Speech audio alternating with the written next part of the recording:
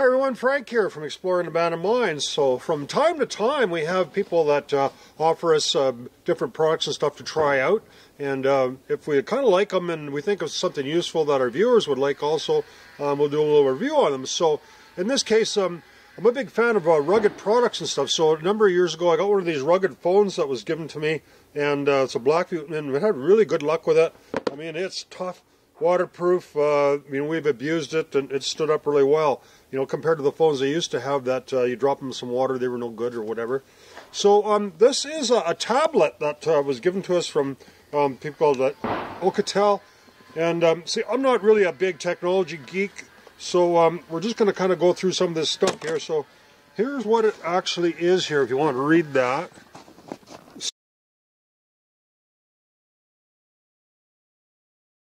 So this is a rugged tablet. Um, so it's really heavy. If you uh, if you pick it up, it actually it's uh, 1.2 kilograms.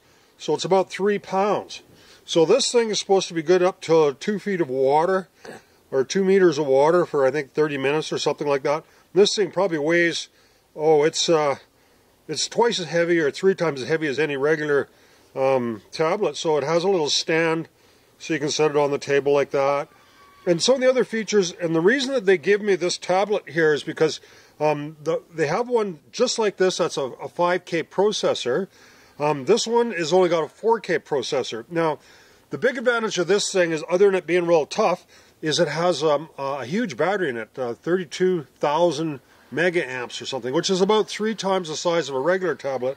This tablet will run um, uh, 35 hours, they say, uh, if you're just watching videos and stuff. So it's got a huge battery in it, and it's uh, pretty tough.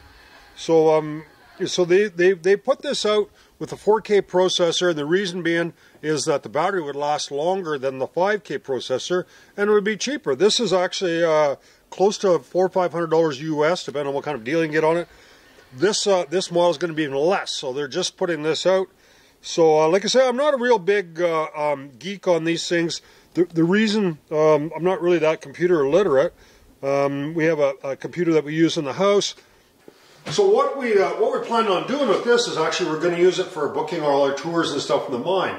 Um, so the good thing about it is it's being a rugged product. I mean, if we uh, have it outside the picnic table, we'll leave it out there in the rains or something. We don't have to worry about it getting damaged or anything like that and uh, at a pretty reasonable cost it should do the job for us.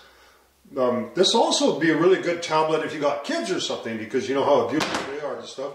You know, I'm probably going to abuse my table but rather than the, than the tablet, but it's it's good for uh, you could drop it a meter or so or put it underwater. You know, it's it's it's going to last a long time. So for the price, you know, you're probably going to pay about 400 bucks for something like that. You can't even buy a good phone for that price. So I think that's a pretty good deal. So. So a couple other features of this uh, tablet, it has a really good high resolution screen on it. It has two speakers, so if you're listening to music and stuff, it has uh, really good sound. You could also put up to two SIM cards in this one. We don't have a SIM card in it right now, but uh, we're just using it on the Wi-Fi, but uh, you could actually put a SIM card in it and use it as a telephone.